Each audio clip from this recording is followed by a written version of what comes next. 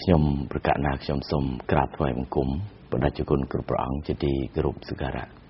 សូមលំអរកាយគោរពជម្រាបសួរសម្ដេចលោកជំទាវជាទីគោរពដ៏កំពង់ខ្ពស់និងសូមជម្រាបសួរអាដាមលោកជំទាវលោកលោកស្រីអ្នកនាងកញ្ញាបងប្អូនរួមជាតិទាំងក្នុងនិងក្រៅប្រទេសជាទីគោរពនិងជាទីរាប់អានបាននៅក្នុងរាត្រីនេះផងដែរនីតិវិភាគព្រឹត្តិការណ៍សង្គមរបស់យើងក៏នឹងវិលមកជួបបងប្អូនរួមជាតិទៅតាមពេលវេលានិងម៉ោងដែលបានកំណត់ ហើយជាពិសេសទៅទៀតក្នុងរាត្រីនេះនីតិរបស់យើងក៏នឹងលើកយកតកតងទៅនឹងចរិតរបស់គណៈបពប្រឆាំងដោយផ្ដោតទៅលើជំងឺបរទេសនិយម ដែលគណៈបពប្រឆាំងសពថ្ងៃហ្នឹងគឺថាកំពុងតែឆ្លក់វង្វេងជាមួយនឹងបញ្ហានេះហើយមូលហេតុចម្បងដែលយើងនឹងលើកយកជំវិញជំងឺបរទេសនិយមនេះ ដើម្បីដាក់ជូនទៅវាគ្មិនកិត្តិយសរបស់យើងគឺលោកបណ្ឌិតចំផលវរុនគឺដើម្បីទុកជាការពិចារណាទៅដល់បងប្អូនយើងផងដែរពីព្រោះថាសម្រាប់ប្រជាពលរដ្ឋខ្មែរទាំងថ្នាក់ដឹកនាំក្តីឬក៏ប្រពៃណីទំនៀមទម្លាប់ខ្មែរយើងនឹងគឺយើងតែងតែចង់រស់នៅ ក្នុងប្រទេសមួយដែលមានសុខសន្តិភាព មានអធិបតេយ្យភាព មានសេរីភាពនិងមានឯករាជ្យនៅក្នុងប្រទេសជាតិរបស់យើងហើយឥឡូវនេះយើងឃើញថាកម្ពុជារបស់យើង គឺបានរើបំរាស់ពីអាណានិគមគ្រប់បែបយ៉ាងតួយ៉ាងដូចជាអតីតកាលយើងធ្លាប់ឆ្លងកាត់នៅក្រោមអាណានិគមនិយមបារាំងហើយរួមជាមួយនឹងបញ្ហាក្រោយក្រោយមកទៀតក៏យើងមានបញ្ហាខ្លះដែរប៉ុន្តែឥឡូវនេះ ក្រោមការដឹកនាំរបស់រាជរដ្ឋាភិបាលរបស់យើងគឺថាយើងបានទទួលបាននៅឯករាជ្យពេញបរិបូរណ៍ហើយយើងមានសិទ្ធិសម្រេចក្នុងនាមជាម្ចាស់វាសនានៃប្រទេសជាតិប៉ុន្តែអ្វីដែលយើងកត់សម្គាល់នឹងយើងឃើញថាគណៈបកប្រឆាំងកំពុងតែចង់អូសទាញកម្ពុជានឹងឲ្យស្ថិតនៅក្រោមកញ្ចះបរទេសហើយតួយ៉ាងគឺបងប្អូនជ្រាបហើយដូចជាគណៈបកសំរងស៊ីដែលយើងរាប់បានថាជាគណៈបក ប្រឆាំងដ៏ធំនៅកម្ពុជាហើយក៏ដូចជាគណៈបកតូចតាចរបស់កឹមសុខាក្តីយើងឃើញថាគណៈបកទាំងពីរនេះដែលមានឈ្មោះថាគណៈបកប្រឆាំងនឹងគឺតែងតែនិយមបរទេសជ្រុលហួសហេតុនិយាយឲ្យចំទៅគឺមួយម៉ាត់ណាក៏ពួកគាត់ទន្ទិញអាមេរិកអូស្ត្រាលីបារាំងអីជាដើមហើយបើយើងនិយាយឲ្យចំជាងនេះទៅទៀតករណីលោកសំរងស៊ី ការដែលគាត់ប្រព្រឹត្តនៅអំពើល្មើសច្បាប់នៅកម្ពុជាដូចជាការដកបង្គោលព្រំដែនរួមជាមួយនឹងទង្វើមួយចំនួនខ្លះទៀតដែលគាត់ធ្វើដោយមិនទទួលខុសត្រូវហើយគាត់ភៀសខ្លួនទាំងប្រផាប់ប្រភិញទៅកាន់បរទេសនេះក៏គាត់អះអាងផងដែរថាដោយសារតែគាត់ជឿជាក់មានជំនឿទៅលើបរទេសដែលមានន័យថាបរទេសនឹងជួយគាត់ អញ្ចឹងការរំពឹងទុករបស់គាត់នេះមកទល់ពេលនេះយើងឃើញថាដូចជាមិនទាន់មានសញ្ញាណាមួយដែលបរទេសណានឹងលូកដៃមកលើជាមួយនឹងរឿងគាត់នេះទេអញ្ចឹងជុំវិញជំងឺបរទេសនិយមនេះខ្ញុំនឹងដាក់ជូនលោកបណ្ឌិតឈឹមផលវរុននៅពេលបន្តិចទៀតនេះតែម្ដងបាទ បាទសូមជម្រាបសួរលោកបណ្ឌិតឈឹមផលវរុនបាទសួរលោកឆាត់សរៈបាទសូមអរគុណលោកបណ្ឌិតបាទនៅក្នុងរាត្រីនេះគឺប្រធានបទដែលខ្ញុំនឹងដាក់ជូនលោកបណ្ឌិតដើម្បីធ្វើការបំភ្លឺជូនជនរួមជាតិគឺតាក់ទងទៅនឹងជំងឺបរទេសនិយមជ្រុលហួសហេតុរបស់គណៈបកប្រឆាំងនៅកម្ពុជា ហើយមូលហេតុដោយដែលខ្ញុំបានជំរាបជូនលោកបណ្ឌិតពីខាងដើមហើយអញ្ចឹងតាក់ទងទៅនឹងការនិយមបរទេសជ្រុលហួសហេតុរបស់គណៈបកប្រឆាំងនៅកម្ពុជានេះ លោកបណ្ឌិតយល់ថាជាកិច្ចការមួយល្អទេសម្រាប់ប្រទេសកម្ពុជារបស់យើង ឬក៏បើសិនណាជាថ្ងៃក្រោយពួកគាត់คล้ายទៅជាអ្នកដឹកនាំប្រសិនបើលោកបណ្ឌិតថាតើប្រទេសជាតិរបស់យើងនឹងនឹងមានភ័ព្វវាសនាអីយ៉ាងម៉េចដែរទៅបាទបាទអរគុណណាស់លោកសត្វសិរិរឿងប្រទេសនីមួយនីមួយនៅក្នុងសកលលោក វាត្រូវតែមានតំណែងតំណងគ្នាបាទប៉ុន្តែការតំណែងតំណងគ្នាតួអង្គនៃការតំណែងតំណងគ្នាឬក៏មួយទៀតភាសាបច្ចេកទេសគេហៅតួអង្គតំណាងរដ្ឋក្នុងកិច្ចសហប្រតិបត្តិការគឺរដ្ឋាភិបាលបាទនេះជាតួអង្គហៅតួអង្គនៃនីតិអន្តរជាតិចឹងហើយជាមួយនឹងតួអង្គនៃនីតិអន្តរជាតិដើម្បីធ្វើកិច្ចសហប្រតិបត្តិការអន្តរជាតិ ឬក៏ជាទ្វេភាគីពហុភាគីតំបន់សកលលោកវាទាមទារទៅនឹងគោលការណ៍និងគោលនយោបាយការបរទេសរបស់ប្រទេសនីមួយៗប៉ុន្តែនៅកម្ពុជាដោយលោកសត្វសរៈបានធ្វើសេចក្តីផ្ដើមអ្នកនយោបាយនិន្នាការប្រឆាំងគេអត់ឈរទៅលើការយល់ដឹងនៃនីតិអន្តរជាតិដែលផ្ដើមចេញពី រដ្ឋធម្មនុញ្ញនៃប្រទេសនីមួយៗជាពិសេសប្រទេសកម្ពុជាយើងគឺបានបញ្ជាក់ច្បាស់ណាស់ហើយគាត់អត់យកគោលនយោបាយនៃកិច្ចសហប្រតិបត្តិការបរទេសជាមួយប្រទេសរបស់ខ្លួនទេ បែរទៅជាយកបរទេសដើម្បីជាទីពឹងពំនាក់ដើម្បីខ្លួនចំណុះហើយឲ្យបរទេសធ្វើជាឧបករណ៍ផ្ដួលរំលំរដ្ឋរដ្ឋាភិបាលដែលកើតចេញពីឆន្ទៈរបស់ប្រជាពលរដ្ឋបាទ បើអញ្ចឹងដដែលក៏គាត់មិនក៏មិនយកអាមេរិកឬអូស្ត្រាលីមកធ្វើប្រធានបករបស់គាត់ត្មងទៅវាស្រួលវា direct មកគាត់នៅសុំចូលសញ្ជាតិបន្តិចទៅវាចប់ហើយបាទចំណុចត្រង់នេះខ្ញុំមានការហួសចិត្តផងដែរជាមួយនឹងមេបកសិទ្ធិមនុស្សលោកកឹមសុខាលោកកឹមសុខានៅក្នុងការឃោសនានាពេលបច្ចុប្បន្ននេះ បន្ទាប់ពីគាត់មកពីអូស្ត្រាលីក្តីបន្ទាប់ពីគាត់មកពីអាមេរិកក្តីហ្នឹងជាទូទៅជាប្រពៃណីរបស់គាត់ហើយគាត់បាននិយាយប្រាប់សមាជិករបស់គាត់មួយចំនួនតូចហ្នឹងគឺគាត់ថាឲ្យតែបោះឆ្នោតឲ្យគាត់ចោះគឺអាមេរិកដែលជាមិត្តរបស់គាត់នឹងនឹងជួយបងប្អូនឲ្យទៅជាអ្នកមានអ្នកបាននេះគឺជាចំណុចមួយដែលខ្ញុំកំពុងតែមានចម្ងល់ថា ចុះបើសិនណាជាអាមេរិកគេមកជួយខ្មែរយើងដូចថាជួយយ៉ាងច្រើនជាង ដែលគេជួយជនជាតិគេទៀតនោះអញ្ចឹងមានន័យថាអាមេរិកហ្នឹងគេគេបានន័យថាតលតែមានផលផលចំណេញដល់គេដែរអូជួកឹមសុខាអត់ទាំងដែលទៅធ្វើអីដើម្បីផលប្រយោជន៍គេផងអញ្ចឹងគេមិនជួយឬក៏កឹមសុខាហ្នឹងចង់លក់ ប្រទេសទាំងមូលឲ្យតែអាមេរិកតែមកឬក៏យ៉ាងម៉េចបាទបាទចំណុចហ្នឹងហើយដែលចង់បញ្ជាក់ថាវាមានតែពីរលទ្ធភាពទេបើស្អីក៏អាមេរិកស្អីគេក៏បរទេសអូស្ត្រាលីឲ្យឬក្មេងអាមេរិកណាមួយឬក៏ស្អីមកធ្វើមេបកសិទ្ធិមនុស្សនឹងហ្មងទៅហើយកឹមសុខាជាសហប្រធានអីចឹងទៅហើយអញ្ចឹងទៅវាស្រួលវាស្រួលយកទូអង្គអាមេរិកហ្នឹង ដាក់តាំងលើតុដើម្បីឆក់យកសិលឹកឆ្នោតជាពលរដ្ឋមកទៅបើថាវាមិនពិបាកពេកបើថាល្ងងអញ្ចឹងហើយឬក៏មួយទៀតគឺប្រកាសលក់ស្រុកខ្មែរទៅឲ្យអាមេរិកឬទៅឲ្យអូស្ត្រាលីមកទៅបើថាធ្វើនយោបាយអត់ដឹងអីអញ្ចឹងអញ្ចឹងខ្ញុំទាញមកវិញអ្នកបពប្រឆាំងនឹងល្ងងល្ងងនឹងអត់យល់ប៉ុន្តែគាត់ចេះតែចង់ធ្វើចេះចង់ធ្វើចេះយ៉ាងម៉េចបើសិនគេពិតជាចេះ គេអង្គុយសិក្សាតាក់តែងគោលនយោបាយកម្មវិធីនយោបាយវិញ ដើម្បីបង្ហាញខ្លួនថាខ្លួនជាតួអង្គដ៏សំខាន់ដែលអាចដើរតួជាមួយនឹងទំនាក់ទំនងអន្តរជាតិដើម្បីផលប្រយោជន៍កម្ពុជាបាទប៉ុន្តែពួកគាត់ល្ងងគាត់ធ្វើបានតែរបស់ណាដែលងាយគឺពឹងបរទេសដូចជាស្អីក៏អាមេរិក ហើយអាស្អីក៏អាមេរិកស្អីក៏អូស្ត្រាលីហ្នឹងគាត់អត់ទាំងស្គាល់អាមេរិកច្បាស់ទេហ៊ាននិយាយហើយកុំថាតកឹមសខាតើបននយោបាយកឹមសខាដែលរស់នៅ ជាង10ឆ្នាំ20ឆ្នាំនៅអាមេរិកក៏គ្មានស្គាល់អាមេរិកដែរខ្ញុំអាចលើកយ៉ាងច្បាស់ហើយអ្នកទាំងអស់នឹងភូតទេ ទី1ពាក់ព័ន្ធទៅនឹងទស្សនភាពនៃការធានារ៉ាប់រងសុខភាពនៅអាមេរិកមុខអ្នកទាំងអស់ហ្នឹងដែលឃោសនានៅក្នុងបននយោបាយកឹមសខានេះ សួរថាមុខអ្នកទាំងអស់ហ្នឹងមានបានធានារ៉ាប់រងសុខភាពទេនៅអាមេរិកគ្មានទេបាទគឺគ្មានតែម្ដងហើយខ្ញុំហ៊ានភ្នាល់ហើយជាតតាំងជាមួយបុគ្គលដែលកំពុងឃោសនាអាលីអាលាជាមួយកម្មលខានេះនៅអាមេរិកធានារ៉ាប់រងសុខភាព គឺជាប្រព័ន្ធធានារ៉ាប់រងដោយស្ម័គ្រចិត្តមិនមែនដោយកាតព្វកិច្ចទេ បានន័យថាបុគ្គលម្នាក់ម្នាក់បើចង់ ស្ថិតនៅក្នុងប្រព័ន្ធធានារ៉ាប់រងសុខភាពអ្នកត្រូវទិញសេវាហើយបង់ទៅទិញសេវាឯកជនហ្នឹងបាទបើពាក្យថាកតាបកិច្ចគឺមិនមែនស្ម័គ្រចិត្តទៅទិញទេគឺច្បាប់រដ្ឋតម្រូវឲ្យអ្នកឯងត្រូវតែចូលនៅក្នុងប្រព័ន្ធធានារ៉ាប់រងសុខភាពដូចនៅអឺរ៉ុបខាងលិចមានអាល្លឺម៉ង់មានបារាំងមានអូស្ត្រាលី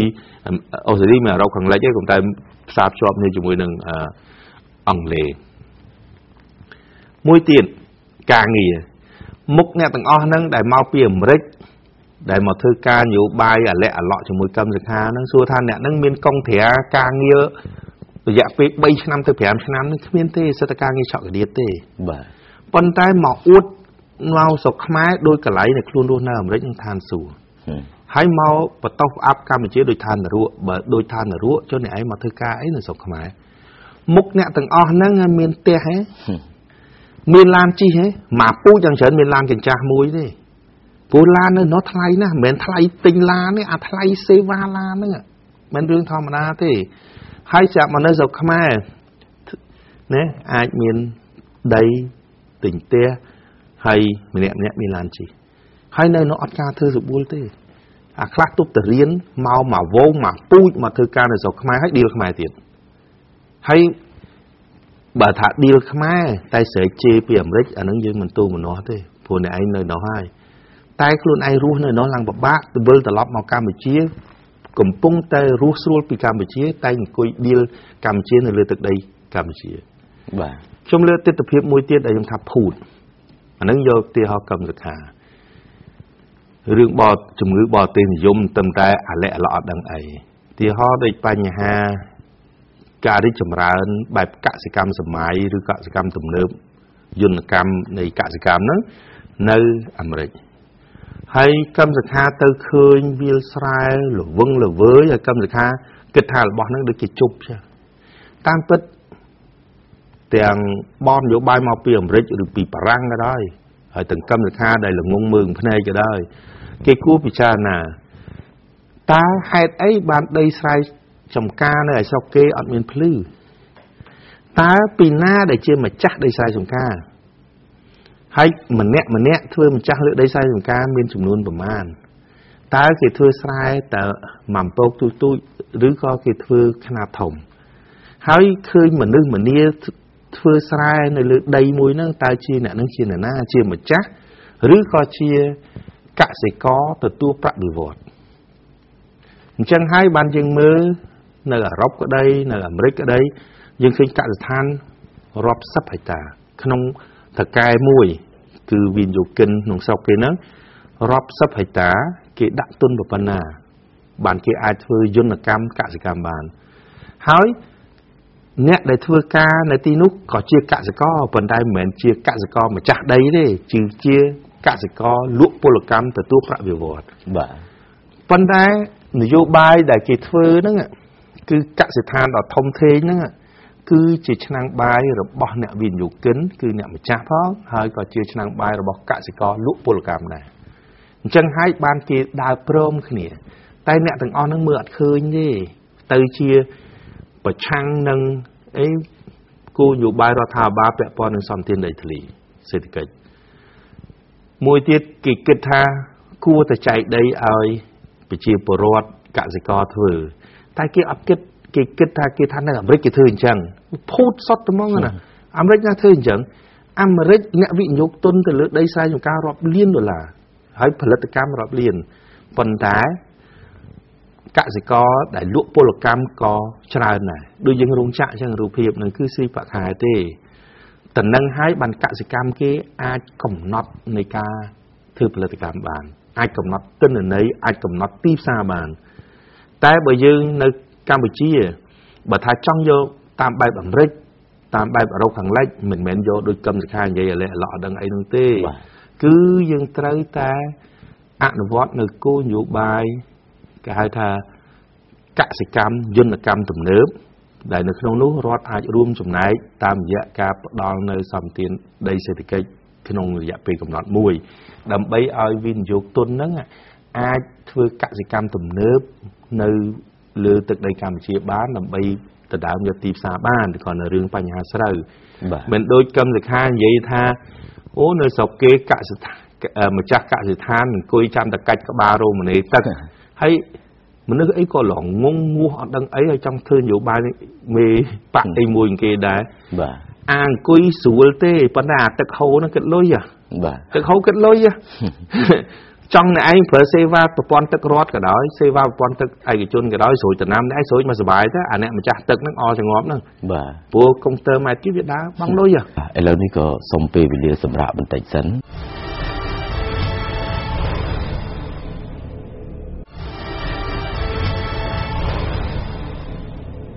បាទបន្ទាប់ពីបានសម្រាប់បាច់មិញនេះខ្ញុំបាទក៏នឹងផ្ដល់សំណួរជូនលោកបណ្ឌិតជាបន្តទៀតបាទ ហើយមួយវិញទៀតកឹមសុខាក៏គាត់បានអះអាងដែរគាត់ថាកសិករដែលធ្វើស្រែរាប់រយហត្តាហ្នឹងគឺគេអត់ខ្វល់ទេកាលណាស្រែគេខូចគឺថារត់ចេញសងទាំងអស់បាទអើយជុំបើអញ្ចឹងដដែលដែររត់ធ្វើមកនោះបាទរត់មិនធ្វើទៅមកទៅកសិករនឹងចាំបាច់ធ្វើអីគាត់ដាំដាំអញ្ចឹងទៅមិនបាច់ថែបាច់តបទេងាប់រត់ចេញសងថានិយាយមកកឹមសុខាទៅមើល រូបភាពនៅអាមេរិកតែនិយាយក្នុងខួរក្បាលកុម្មុយនីសបាទពីព្រោះផលិតកម្មទាំងអស់ជាការទទួលខុសត្រូវរបស់រដ្ឋដដែលបាទទាំងការខូចខាតរហូតដល់ការលក់ផលិតផលអញ្ចឹងកម្មសខានៅគូក្បាលគុំនេះអាហ្នឹងដែលខ្ញុំចង់និយាយកម្មសខាធ្លាប់សន្យានៅប្រទេសឆេកូស្លូវ៉ាគីដែលគាត់ធ្វើក្នុងពិធីទទួលសញ្ញាបត្រកម្មសខាបានបដិញ្ញាចិត្តនឹងចុះនៅអឺ ទស្សនាវដ្តីនៅប្រទេសគេប្រងព្រាតកម្មសខាសន្យាថាមកដល់កម្ពុជានឹងកសាងគុំយងគុំនេះនិយមឲ្យបានជោគជ័យអញ្ចឹងគូក្បាលកម្មសខានៅដែរទេបាទកម្មសខាអត់តាន់ដូរខុសក្បាលទេប៉ុន្តែកម្មសខាកំពុងវង្វេងក្នុងព្រៃប្រជាធិបតេយ្យនឹងឯងបាទវង្វេងមិន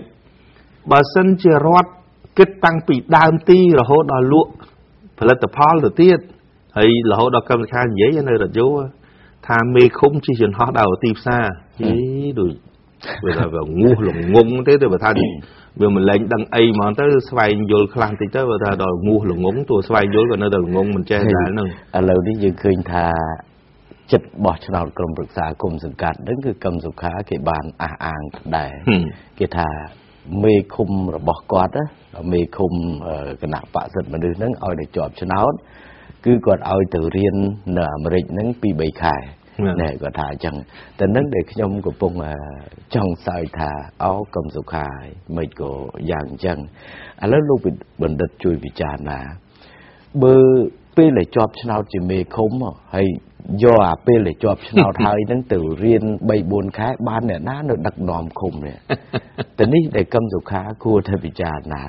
ហើយមួយវិញទៀត បើសិនណាជាកឹមសុខាមានចេតនាក្នុងការបណ្ដោះបណ្ដាលធនធានមនុស្សនៅក្នុងគណៈបករបស់គាត់នោះគួរតែឲ្យទៅរៀនពីឥឡូវនេះមួយខែពីរខែទៅហើយបន្ទាប់មកទៀតត្រឡប់មកមកឈរឈ្មោះជាមេឃុំទៅអាហ្នឹងបានគេហៅថាជាមនុស្សអត់បោកប្រាស់ប៉ុន្តែបើមួយយៀតដូចកឹមសុខាសម្ដីបែបហ្នឹងទង្វើបែបហ្នឹងកលៈទេសៈបែបហ្នឹង គឺជាសម្ដីបោកប្រាស់ហើយខ្ញុំមានការណិតអាសូរដល់បងប្អូនយើងមួយចំនួនតូច ដែលដោយរួយតាមកឹមសុខានោះហើយយើងមានការអាណិតអាសូរអញ្ចឹងហើយបានជាកម្មវិធីរបស់យើងនេះក្តីជាពិសេសនីតិពលរដ្ឋវិជារបស់លោកបណ្ឌិតឈឹមផលវរុនក្តីក៏តែងតែពន្យល់ហើយការពន្យល់នេះគ្មានចង់បានចំណេញចង់បានប្រយោជន៍អីទាំងអស់ អ្វីដែលយើងចង់បានគឺធ្វើយ៉ាងម៉េចឲ្យខ្មែរយើងនឹងធ្វើដំណើររួមទៅរកការអភិវឌ្ឍទៅរកសុខសន្តិភាពនិងសេចក្តីសុខចម្រើននឹងឯងបាទជាការត្រឹមត្រូវណាស់តែនឹងហើយដែលយើងឲ្យបងប្អូនជាពលរដ្ឋមើលឃើញឲ្យច្បាស់ថាហេតុអីបានមេដឹកនាំគណៈបកប្រឆាំងមានអាជំងឺបរទេសនិយមហ្នឹងបាទជំងឺបរទេសនិយមដែលពួកគាត់មានហ្នឹងគឺជាជំងឺឆ្កួតលីលាទៅនឹង បរទេសទេបាទមិនមែនជាជំងឺស្រឡាញ់ក្នុងកិច្ចសហបរិការជាមួយបរទេសទេបងប្អូនចាំឲ្យច្បាស់ជាជំងឺឆ្កួតលីលានឹងបរទេសមិនមែនជាជំងឺសហបត្តិបត្តិការជាមួយបរទេសទេបាទខ្ញុំហ៊ានថាជំងឺឆ្កួតលីលានឹងបរទេសនឹងដោយសារអី ដោយសារគាត់ចង់យកអារូបភាពបរទេសមកបោកប្រជាពលរដ្ឋខ្មែរបាទព្រោះលោកកឹមសុខាក្តីមេបកប្រឆាំងដតីជាតិក្តីគ្មានឱកាសឯណាទៅជួបហាក់ដឹកនាំនៃប្រទេសនានាទេបាទអញ្ចឹងប៉ុន្តែគាត់មានឱកាសមួយឱកាសដែលនៅកម្ពុជាសេរីភាពបញ្ចេញមតិទលំទលាយគ្មានព្រំដែនបាទអញ្ចឹងហើយគាត់យកអារូបភាពជឿនលឿនសុគេមកធ្វើកសែងបក់កសែងបោយដល់ម្ចាស់ឆ្នោតយើងនេះបាទ ប៉ុន្តែនៅពេលដែលប្រជាពលរដ្ឋខ្មែរឥឡូវនេះគាត់ដឹងអំពីរូបភាពនៃការជឿនលឿនរបស់ប្រទេសគេហើយគាត់ស្គាល់អំពីហេតុផល និងស្គាល់អំពីតម្លៃនៃកម្លាំងពលកម្មនៃប្រជាជាតិគេនោះហើយឥឡូវនេះព័ត៌មានទទួលបានគ្រប់ករណីគេមានទាំងបងប្អូនគេនៅឯនោះទៀតធ្វើថាអូបាម៉ាដើរចែកលុយរាល់ថ្ងៃឲ្យប្រជាពលរដ្ឋដោយកម្មសិក្ខាឬក៏ប្រជាពលរដ្ឋគេនៅក្នុងព្រលឹមឡើងទៅធ្វើការល្ងាចចូលផ្ទះបាទតំណឹង ប្រជាពលរដ្ឋគេមិនជឿនយោបាយឈួតលីលាកសែងបកកសែងបោយនៃជំងឺបរទេសនិយមរបស់មេបកប្រឆាំងទេបាទខ្ញុំគ្រាន់លើកឧទាហរណ៍មួយទោះបីជាបនយោបាយកម្មសខានៅអាមេរិកក្តីនៅបារាំងក្តីនៅអូស្ត្រាលីក្តីចូលរួមភូតជាមួយកម្មសខាប៉ុន្តែអ្នកនឹងយ៉ាងហោចណាស់ក៏អៀនខ្លួនឯងដែរនៅពេលដែលជួបខ្មែរមកពីអាមេរិកដូចគ្នា តែគេអត់នៅ ក្នុងបនយោបាយកម្មសខាជួបខ្មែរមកពីបារាំងឬពីអឺរ៉ុបខាងលិចដែលគេអត់នៅជាមួយកម្មសខានិងខ្មែរនៅអូស្ត្រាលីគឺគេអៀនអញ្ចឹងហើយបានអ្នកទាំងអស់ហ្នឹងអៀនណាស់អត់ហ៊ានជួបអត់ហ៊ានជួបខ្មែរយើងមកពីក្រៅប្រទេសទេពីព្រោះអៀនមិនអៀនដោយសារអ្នកនឹងភូតវាពេកព្រោះគេស្គាល់កាយៅអ្នកទាំងអស់ហ្នឹងស៊ីឈ្នួលខ្ញុំគេហ្នឹងហើយហើយមកអួតនៅកម្ពុជានេះតែនឹងហើយដែលខ្ញុំចង់បញ្ជាក់ថាបងប្អូនជាបរដ្ឋគេមាន មូលដ្ឋាននៃការគិតច្បាស់ណាស់ដែលតម្រូវឲ្យគណៈបកកម្មសខានិងគណៈបកសំស៊ីរកវិធីព្យាបាលជំងឺស្គូតលីលានិងបរទេសនិយមនឹងចេញទៅបាទហើយត្រង់ចំណុចនេះខ្ញុំគ្រប់គ្រងចំពោះជាមួយនឹងប្រសាសន៍របស់លោកបណ្ឌិតហើយខ្ញុំជឿជាក់ថាលោកលោកស្រីនិងកញ្ញាបងប្អូនរួមជាតិដែលកំពុងតែតាមដានស្ដាប់នៅការបំភ្លឺរបស់លោកបណ្ឌិតអំបញ្ញមិញនេះ ជុំវិញជំងឺឆ្កួតលីលាជាមួយនឹងបរទេសនិយមដែលគណៈបកប្រឆាំងកំពុងរឹងវិញវ័នហ្នឹងគឺជារឿងមួយដែលត្រឹមត្រូវហើយដែលលោកបណ្ឌិតមានប្រសាសន៍ហើយសម្រាប់ខ្ញុំខ្ញុំគិតឃើញចំណុចមួយទៀតដែលធ្វើឲ្យគណៈបកប្រឆាំងហ្នឹងគឺថាកើតអាជំងឺឆ្កួតជាមួយនឹងបរទេសហ្នឹងគឺដោយសារជំងឺស្រេកឃ្លានអំណាចជ្រុលហួសហេតុ ដោយបងប្អូនជ្រាបហើយថាសង្គមកម្ពុជាយើងនេះ គឺជាសង្គមមួយដែលយើងអនុវត្តនិងគោរពទៅតាមប្រជាធិបតេយ្យលទ្ធិប្រជាធិបតេយ្យការបោះឆ្នោតមានអាណត្តិ5ឆ្នាំម្ដងមកប្រកួតប្រជែងក្រោមខ្សែភ្នែកប្រជាពលរដ្ឋនិងក្រោមទឹកចិត្តរបស់ប្រជាពលរដ្ឋដែលលោកជ្រើសរើសអញ្ចឹងប្រជាពលរដ្ឋខ្មែរជ្រើសរើសថ្នាក់ដឹកនាំឬក៏ជ្រើសរើសគណៈបកណាមួយដើម្បីឲ្យដឹកនាំប្រទេសនោះ លុះណាតែគណៈបកនោះមានគុណសម្បត្តិចំពោះជាតិគុណសម្បត្តិចំពោះប្រជាពលរដ្ឋហើយមានសកម្មភាពបំរើជាតិយ៉ាងកក្រឹកកក្រែងអញ្ចឹងយើងឃើញថាគណៈបកប្រឆាំងដូចជាគណៈបកសំរងស៊ីថាតើគាត់មានគុណសម្បត្តិអីចំពោះជាតិគឺតើទេអចំណែកកឹមសុខានេះ គឺមានតែឈ្មោះស្អុយអសោចទេ ឲ្យកាន់អង្គលួចអង្គឲ្យកាន់គោលួចគោកឹមសុខាមានប្រវត្តិធ្លាប់លួចគោបាទគោសាលាក្រុងកាលពីជំនាន់80បាទ80នឹងដែរអញ្ចឹងបានថាប្រវត្តិដ៏ស្អុយអាសោចនេះគឺប្រជាពលរដ្ឋគាត់អត់មានបានឃើញថាកឹមសុខាបានធ្វើគុណសម្បត្តិចំពោះជាតិទេអញ្ចឹងដោយសារតែអត់គុណសម្បត្តិនឹងហើយដើម្បីឈោងចាប់អំណាចសម័យសម័យរបស់គាត់ហ្នឹងគាត់បន្តបង្អាប់ជាតិហើយអួត បរទេសយកទស្សនវិជ្ជាបរទេសយកមកប្រចាំងជូនស្រុកខ្មែរហើយថានឹងធ្វើឲ្យដូចគេអញ្ចឹងសូម្បីតែស្អីគេហៅថាសម្ព័ន្ធភាពរបស់គាត់ណាជាមួយកឹមសុខាណាជាមួយសំរងស៊ីបាទ សម្ព័ន្ធភាពអីដើម្បីមហាចលនាដើម្បីស្អីគេហ្នឹងបាទគេថាសិតតែអាមេរិកសនំពោបានបានបានគេគេសុំចងសម្ព័ន្ធភាពជាមួយនឹងសំរងស៊ីហ្នឹងអញ្ចឹងបានថាមួយម៉ាត់ណាក៏បរទេសអញ្ចឹងនេះគឺជាអ្វីមួយដែលខ្ញុំមើលឃើញមួយចំណុចទៀតគឺបែបហ្នឹងត្រឹមត្រូវណាស់បាទតែហ្នឹងហើយដែលចង់បញ្ជាក់ធ្វើនយោបាយដោយកម្មសិក្ខាក្តីដោយលោកសំរងស៊ីក្តីបើគាត់គ្រាន់តែយកបទពិសោធន៍ នៃអាមេរិកនៃអូស្ត្រាលីនៃអឺរ៉ុបខាងលិចដែលគេបានចាប់ផ្ដើមកសាងប្រទេសគេរាប់សិបឆ្នាំអាហ្នឹងល្អបាទថាហេតុអ្វីបានជាមកដល់ពេលនេះបាទ តែมันអាចយកកម្ពុជាមកដាក់ចំពេលនេះរបស់បរទេសបានទេ កម្ពុជាកំពុងធ្វើដំណើរដែរតែដំណើររបស់កម្ពុជាមានរយៈពេលប្រហែលឆ្នាំឯដំណើររបស់អាមេរិកបារាំងអូស្ត្រាលីអីហ្នឹងប្រហែលឆ្នាំហើយបាទអញ្ចឹងគួរតែយកបទពិសោធន៍ប្រទេសគេបាន តែដល់ចាប់កម្ពុជាមកដាក់ចំមកពេលនេះរបស់បរទេសហ្នឹងអាហ្នឹងគឺឈួតលីលាហើយនយោបាយហ្នឹងបាទខ្ញុំចង់លើកមួយដើម្បីឲ្យពួកគាត់យល់ទស្សនភាព ឬក៏ការទៅសេនិខេតបទដើម្បីជាកម្មវិធីនយោបាយអភិវឌ្ឍប្រទេសគឺតើតែអ្នកនឹងដឹងពីកម្រិតរីកចម្រើនរបស់ប្រទេសខ្លួនដែរបាទហើយខ្ញុំមិនដឹងកម្មសិក្ខាធ្លាប់មានបទពិសោធន៍ក្នុងការសេនិខេតបទឬក៏សរសេរនៅទស្សនៈវិជានយោបាយទេតែគាត់ មានជំនាញរឿងផលិតស្រាអាហ្នឹងយករូបមន្តដែលគេមានហើយវាស្រួលទេអាហ្នឹងគេហៅវិទ្យាសាស្ត្រពិត1បូក1ស្មើ2បាទប៉ុន្តែវិទ្យាសាស្ត្រសង្គមវិទ្យាសាស្ត្រនយោបាយមិនមែនស្រួលដោយការបន្ទប់នៅរូបមន្តដែលគេមានហើយនឹងទេបាទគឺគេត្រូវវាស់ស្ទង់ទៅនឹងកម្រិតរីកចម្រើនរបស់ប្រទេសហើយមួយទៀតគេហៅថាលក្ខខណ្ឌពិសេសជាក់ស្ដែងរបស់ប្រទេសទៀត ទាំងក្នុងនោះរាប់ទាំងធនធានមនុស្សផងតើកម្មសខាមានសមត្ថភាពនឹងយល់រឿងហ្នឹងអត់យើងមើលរបៀបធ្វើនយោបាយគណៈបកសំរងស៊ីក្តីគណៈបកកម្មសខាក្តីគាត់មិនទាំងដឹងថាកម្ពុជាឡើងដល់កម្មទីប្រមាណផងហ្នឹងគាត់យកអាមេរិកយកភាពរីកចម្រើនអាមេរិកចង់មកធ្វើជប់ជាកសែងបកកសែងបោយមកភឹបឲ្យកម្ពុជាដូច ចំណុចហ្នឹងខ្ញុំធ្លាប់ទៅជែកជាមួយមិត្តភ័ក្តិបរទេសទាំងអឺរ៉ុបក្តីទាំងនៅអាមេរិកក្តីអូស្ត្រាលីក្តីគេនោះនេះសោយ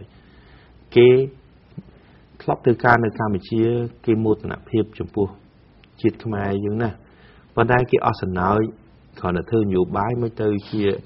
អលេលើអត់យល់អីទាំងអស់អំពីការរីកចម្រើននៅប្រទេសអាមេរិកអូស្ត្រាលីអាល្លឺម៉ង់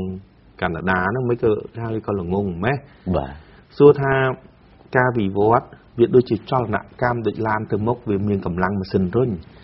ការវិវត្តប្រទេសចឹងដែរវាមានកម្លាំងរុញរុញហើយកម្លាំងរុញហ្នឹងគឺប្រជាពលរដ្ឋខ្លួនឯងហ្នឹងគឺធនធានមនុស្សខ្លួនឯងហ្នឹងរួមទាំងកម្រិតរីកចម្រើននៅ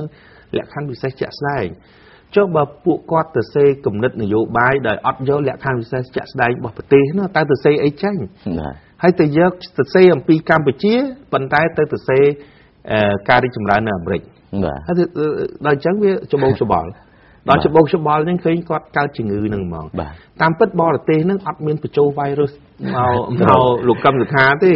តែលោកកឹមសុខាឈួតវង្វេងនឹងបញ្ហាហ្នឹងកើតជំងឺខ្លួនឯងបាទឥឡូវនេះក៏សូមពេលវេលាសម្រាប់បន្តិចសិន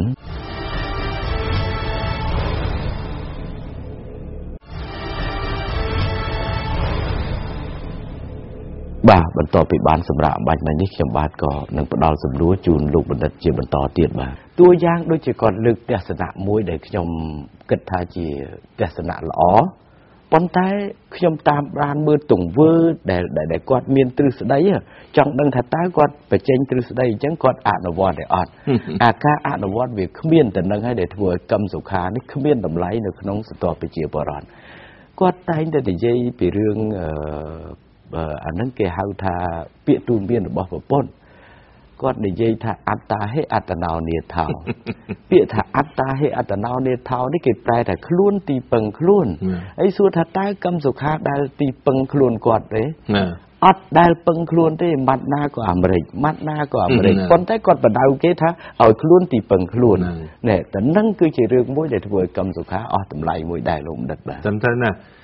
យើងមើលកម្មសខាមានបានមកដល់ថ្ងៃហ្នឹងដោយសារកម្លាំងពលកម្មសុចរិតរបស់កម្មសខាឬដោយសារការគិតនៅទង្វើទុច្ចរិតបាទលោកកម្មសខាមានផ្ទះនៅដល់ថ្ងៃនេះនឹងអាចមានលុយទៅចិញ្ចឹមអ្វីក្រៅផ្ទះរហូតដល់បានដីឡូផ្សេងផ្សេងផ្សេងទៀតតើជាកម្លាំងពលកម្មបរិសុទ្ធរបស់កម្មសខាអត់កូនកម្មសខា2នាក់ទៅរៀននៅអាមេរិក ដែលក្នុងមួយឆ្នាំសូម្បីតែខ្មែរយើងនៅអាមេរិករលុយទៅឲ្យកូនទៅរៀនក៏ពិបាកដែរនៅមហាវិទ្យាល័យក៏វិទ្យាល័យមួយឆ្នាំក្នុងម្នាក់គាត់តែថ្លៃសាលាទេណាបាទខ្ទង់ចន្លោះ50000ដុល្លារអត់និយាយហូបចុកហើយទៅដំណើរទេណាបាទណាយើងគិតទៅមួយឆ្នាំ50000ដុល្លារខ្មែរយើងនៅក្រៅក៏ពិបាកនឹងរកដើម្បីឲ្យកូនបានរៀននឹងម្នាក់ចុះដល់2នាក់100,000បាទចុះនៅការស្នាក់នៅរស់នៅហូបចុកទៀតដូច្នេះមិនមែនជារឿងធម្មតានៅអាមេរិកការហូបចុកថ្លៃណាស់ អញ្ចឹងមិនមែនជារឿងស្រួលតើកម្មវិធីបានលុយឧបត្ថម្ភកូនដោយកម្លាំងពលកម្មសុចរិតរបស់ខ្លួនអត់យើងពិនិត្យមួយទៀតដែលខ្ញុំចង់បញ្ជាក់គាត់ប្រកបប្រកាសថាម៉េចបោះឆ្នោតឲ្យគណៈបកគាត់ហ្នឹងគឺយុវជនមានអនាគតអនាគតធ្វើចោលឬក៏អនាគតរៀនសូត្រចែកឲ្យដាច់បើអនាគតធ្វើចោលអានឹងកម្មសិក្ខាទៅបង្ហាត់គេទៅបើថាអនាគត ក្នុងការចម្រុងចម្រើនដោយកម្លាំងសុចរិតទៅរៀនពីកម្មសិក្ខាគឺឈួតបដ ாய் ខ្ញុំប្រើពាក្យហ្នឹងបាទដើម្បីរៀនសូត្រមានអនាគតគឺវាត្រូវផ្ដើមចេញពីយុវជនខ្លួនឯងបាទខ្លួនត្រូវមើលឲ្យឃើញទីផ្សារអនាគតថាតើក្នុង10ឆ្នាំទៅមុខ5ឆ្នាំទៅមុខខ្លួនមានបំណងចង់ធ្វើអ្វីដើម្បីយើងរៀបការបដិបដាលខ្លួនឯងទៅតាមមុខជំនាញដែលចង់បាន បានន័យថាវត្ថុបំណងចង់រៀនសូត្រផងបូកនឹងទីផ្សារការងារទៅអនាគតផងហើយវងកញ្ចក់បន្តិច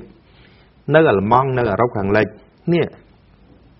ការប្រឹក្សាយោបល់ជូនយុវជនមុននឹងសម្រេចចិត្តជ្រើសរើសរៀនមុខវិជ្ជានៅមហាវិទ្យាល័យគេមានមានគេហៅកុងសតង់ឬក៏កន្លែងប្រឹក្សាយោបល់ជាឯកជនក៏មានជារបស់អង្គការសង្គមក៏មានបាទ បើជាឯកជនគេផ្ដល់យើងបង់លុយឲ្យគេបើជា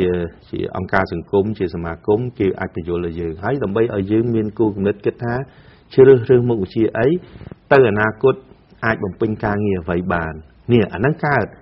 ឯរឿងអ្នកឯងបង្កើនសមត្ថភាព គឺជារឿងសមត្ថភាពរបស់ខ្លួនឯងបាទដល់រឿងបញ្ហាថវិកានៃការរៀនសូត្រកម្មសខាភូត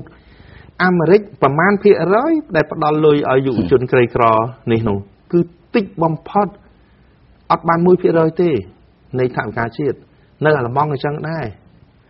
ពីព្រោះអីគេមិនដែលយកថវិកាជាតិទៅឲ្យយុវជនរៀនណាម៉េចវាអត់មានបាទប្រទេសសេរីប្រទេសសេរី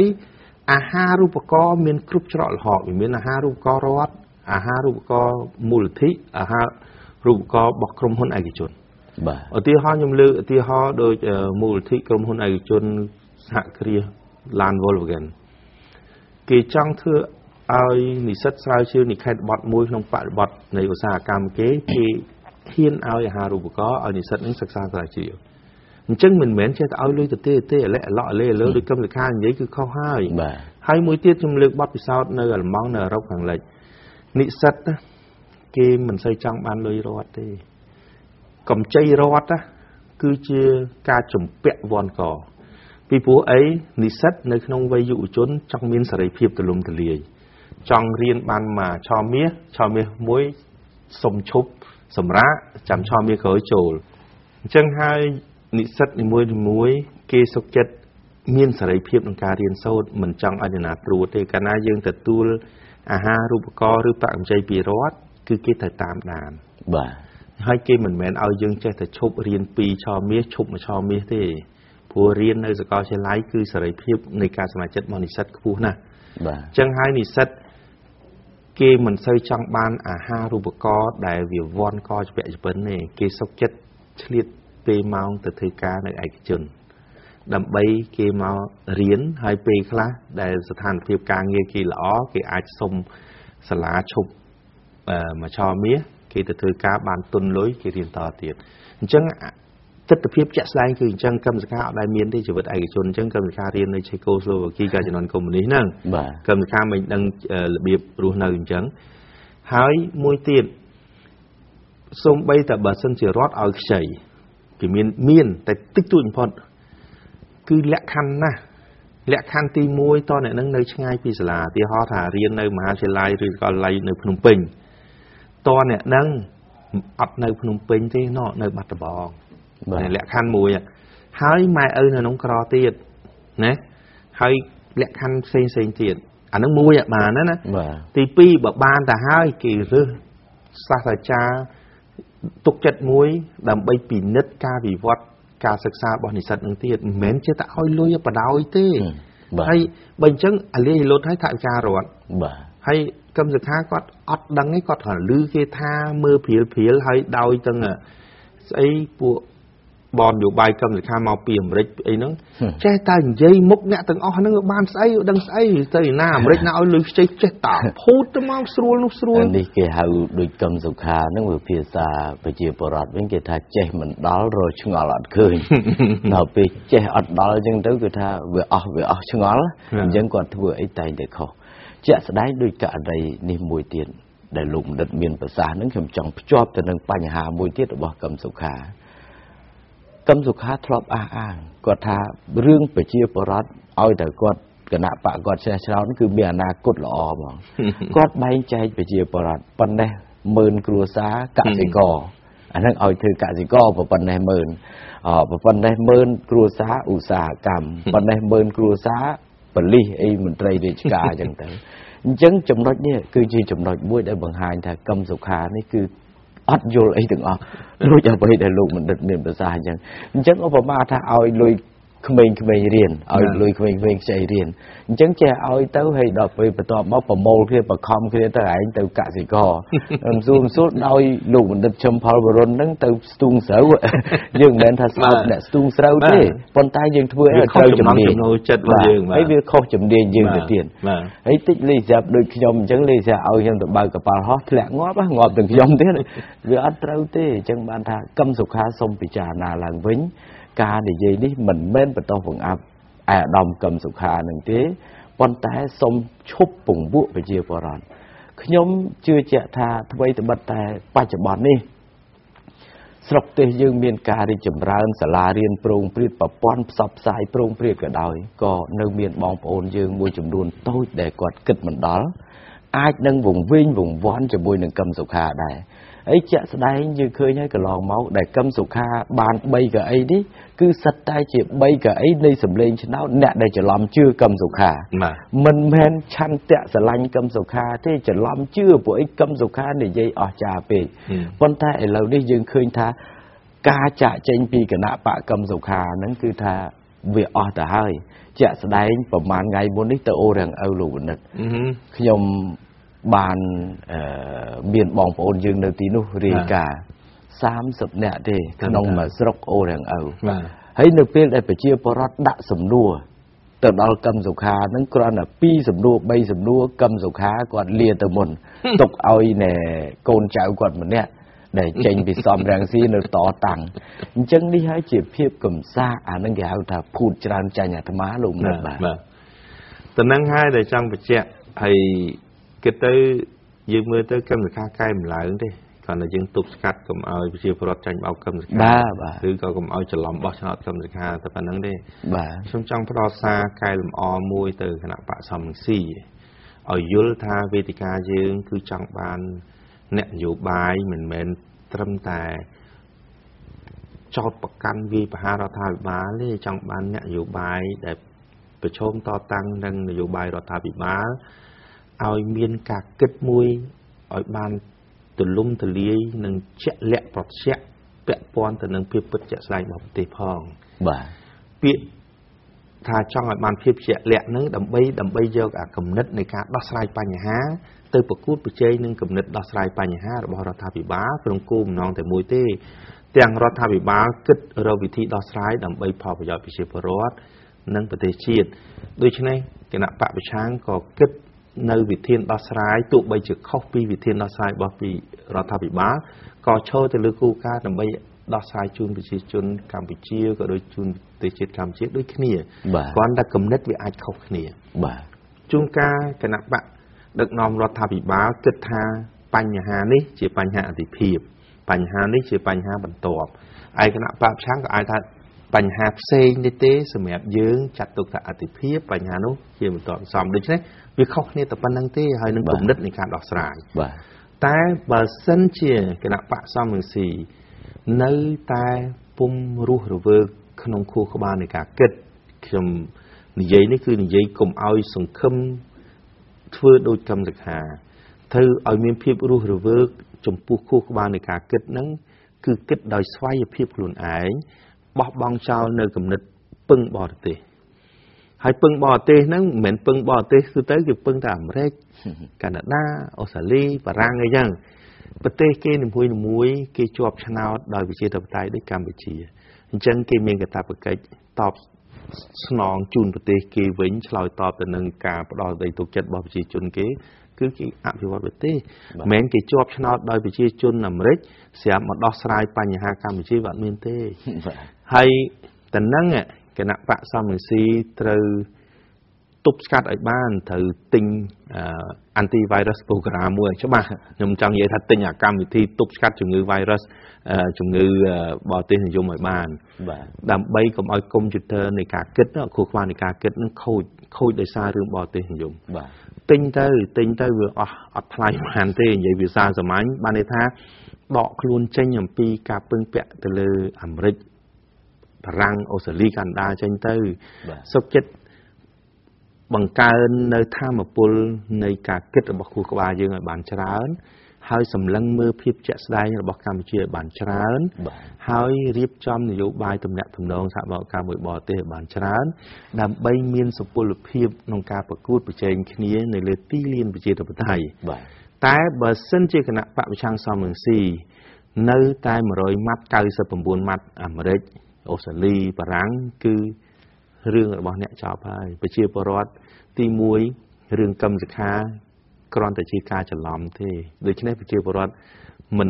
ច្រឡំតទៀតទេ តែប្រយ័ត្នពាក្យច្រឡំនេះធ្លាក់ចូលនៅក្នុងសិលឹកឆ្នោតដែលប្រជាពលរដ្ឋចង់បោះឆ្នោតឲ្យគណៈបកសំស៊ីនោះបាទដូច្នេះខ្លួននឹងធ្វើដំណើរចុះពីកពូលភ្នំហើយកាលពី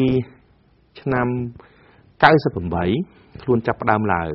ពី0ទៅ15កៅអីហ្នឹងដំណើរឆ្ពោះទៅលើភ្នំបាទបន្ទាប់ពី15ឡើងទៅ24អឺ20មក24 24នៅដំណើរឡើងតែឥឡូវបានតែ26ស្រាប់ឃើញចាប់ផ្ដើមដាំចុះហើយអញ្ចឹងបានថា26កពូលភ្នំហើយម៉ែត្រភ្នំរបស់គាត់កម្ពស់តែ26ម៉ែត្រទេហើយឥឡូវបើមិនកែខ្លួនទេនឹងចាប់ផ្ដើមធ្វើដំណើរចុះពីភ្នំវិញហើយបាទហើយចំណុចហ្នឹងដែលខ្ញុំចង់បញ្ជាក់ថាឲ្យផ្លាស់ប្ដូរនៅខួរក្បាលនៃការគិត ហើយត្រូវបង្កើតនៅកម្មវិធីការពារមេរោគជំងឺបរទេសនិយមឈូតលីលានឹងចេញបាទពេលនោះគណៈបកសំស៊ីនឹងមានទស្សនវិស័យនយោបាយជាក់លាក់មួយ នៅចំពោះប្រជាជាតិខ្មែរនឹងអាចជាដៃគូដ៏ល្អក្នុងការប្រកួតប្រជែងនៅលើទីលានជាធិបតេយ្យបាទពាក្យថាដៃគូមិនមែនឲ្យគណៈបកសំស៊ីទៅគ្រប់គ្រងគណៈបកប្រជាជនកម្ពុជាទេ ពាក្យថាដៃគូនឹងវាឆ្លោយគ្នាទៅវិញទៅមកគណៈបកប្រជាជនកម្ពុជាបំលែងកម្មវិធីនយោបាយនៅក្នុងកម្មវិធីរដ្ឋាភិបាលដោយសារគណៈបកប្រជាជនកម្ពុជាដឹកនាំរដ្ឋាភិបាលដូច្នេះជាកម្មវិធីនយោបាយអភិវឌ្ឍប្រទេសក្នុងសុពលភាពដែលគណៈបកប្រជាជនកម្ពុជាទទួលបានសេចក្តីទុកចិត្តពីប្រជាពលរដ្ឋខ្មែរដែលភាសាវិច័យទេសគេហៅថានិច្ចានគោលភាពជាធិបតេយ្យជាមួយគ្នានោះដែរគណៈបកសំរងស៊ីក៏ត្រូវបង្ហាញឆ្លើយតបជូនប្រជាពលរដ្ឋដែរ ទោះបីជាខ្លួនជាក្រុមភាគតិចក៏ប៉ុន្តែជាការបង្ហាញឲ្យប្រជាពលរដ្ឋមើលឃើញថាខ្លួនក៏មានគំនិតក្នុងការអភិវឌ្ឍប្រទេសមិនមែនមានតែវោហារស័ព្ទដូចកម្មសខាអាឡែអាឡោះអាឡេលើទៅចោទថារដ្ឋាភិបាលកាត់ដីឲ្យបរទេសរដ្ឋាភិបាលខុសនេះខុសនោះហើយបើខុសនេះខុសនោះមនុស្សវាចប់បាត់ហើយប្រទេសមួយហើយមិនក៏5ឆ្នាំមានតែកើនហើយតើហ្នឹងកម្មសខាគិតមិនម៉េចអញ្ចឹងប្រជាពលរដ្ឋដែលបោះឆ្នោតគ្រប់គ្រងទៅគណៈបកប្រជាជនកម្ពុជាហ្នឹងវាមិនម៉េចបាទ ហើយចុះបើខ្លួនឯងហ្នឹងសិតតែត្រូវសិតអីស4នោះសលេខឡក់ទាំង4នោះបាទនេះអាសលេខឡក់ទាំង4ហ្នឹងតើកម្មសខាហ្នឹងគិតយ៉ាងម៉េចរឿងសលេខឡក់ទាំង4ហ្នឹងវាយ៉ាត់តែបោះឆ្នោតថ្ងៃ3ខែ6 2012ហ្នឹងអាសលេខឡក់ទាំង4ហ្នឹងវាសាបជាងស្អីទៅទៀតនោះតើគិតយ៉ាងម៉េចហើយតែហ្នឹងដែលខ្ញុំមិនចង់ឲ្យគណៈបកសំស៊ីមានជោគវាសនាដោយកម្មសខាទេបាទចំណុចហ្នឹងពីព្រោះកម្ពុជាត្រូវការទស្សនៈខុសៗគ្នា បាទសូមអបារទគុណលោកបណ្ឌិតបាទ បាទអរគុណលោកបណ្ឌិតបាទឥឡូវនេះក៏ឃើញថាពេលវេលារបស់យើងដល់ទីបញ្ចប់បាទបាទគួរសោកស្ដាយមែនទែនហើយខ្ញុំបាទជឿជាក់ថាទូទស្សនិកជនបងប្អូនរួមជាតិដែលកំពុងតែតាមដានទស្សនាដែលយកចិត្តទុកដាក់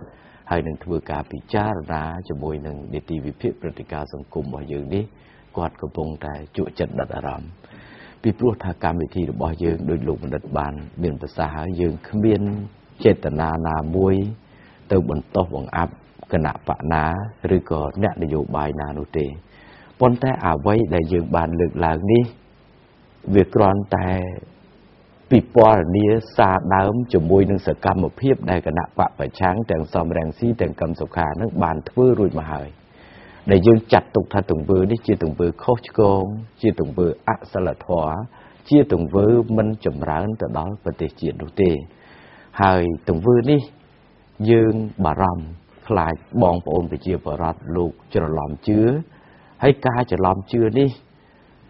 បើសិនណាជាជឿដើម្បីប្រយោជន៍ជាតិដើម្បីការចម្រុងចម្រើនទៅដល់ប្រទេសជាតិវាជាការប្រសើរប៉ុន្តែបើជឿ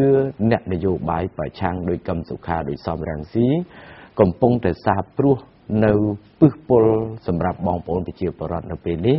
គឺជាការជឿមួយដែលគ្មានប្រយោជន៍ ទី1ខាតពេលវេលា ទី2ដូចគ្រប់គ្រងជនទុច្ចរិតអញ្ចឹងហើយមួយវិញទៀតក៏ខ្ញុំ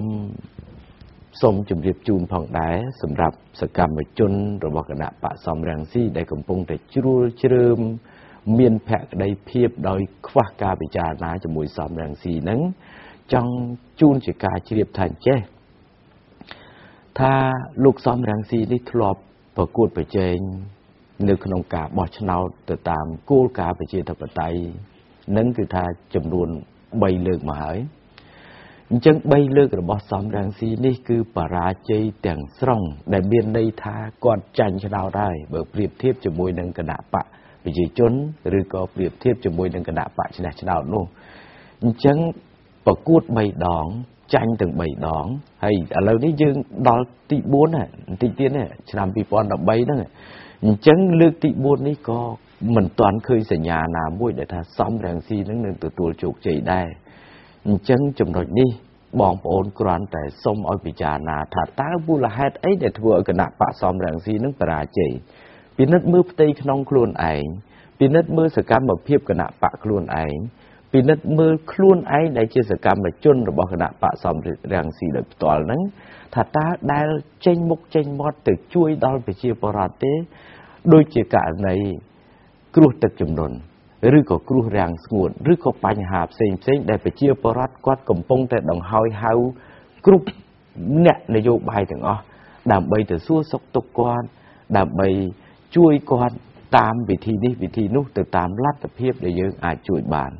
អញ្ចឹងតនឹងហើយដែលធ្វើឲ្យប្រជាពលរដ្ឋខ្មែរអស់សង្ឃឹម ជាមួយនឹងគណៈបកប្រឆាំងមិនថាតែគណៈបកសំរងស៊ីទេគណៈបកតូចតាចរបស់កឹមសុខាក៏ប្រជាពលរដ្ឋលោកលែងមានជំនឿហើយដោយសារតែគាត់មិនបានចូលរួមចំណែកដោយពាក្យខ្មែរគេថា ជួយគ្នាក្នុងគ្រាក្រ